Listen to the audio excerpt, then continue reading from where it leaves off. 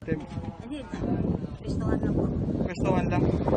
Iniiwan sa'yo yung ano dyan tapos. Tapos pinabalikan niya. Yung bayad, paano nyo kinukuha yung bayad?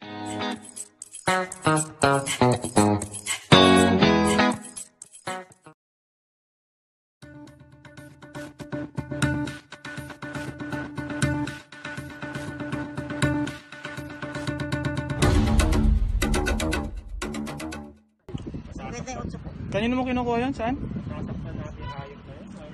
Kanino mo kinukuha na Po. Kanino mo kinukuha? Iniiwan lang po yan sa akin. Kanino nga? Sa kaibigan ko po. Saan? Sinong kaibigan? Taga Quezon City. Anong pangalan? Ernesto. Ernesto. Sa Quezon City. Hindi ko po alam ang bahay niya sa Quezon City. Dati siyang taga rito. eh. Bakit marami? Bakit marami? Ha? Bakit ang dami? Dati pa siyang nagtutulog. eh. Di, Pero, ba't ang dami mong ano dito, item? hindi, pistuhan lang po. Pwestuhan lang. Iniiwan sa'yo yung ano dyan tapos. Pinabalikan niya. Yung bayad, paano nyo kinukuha yung bayad? Hindi po kami.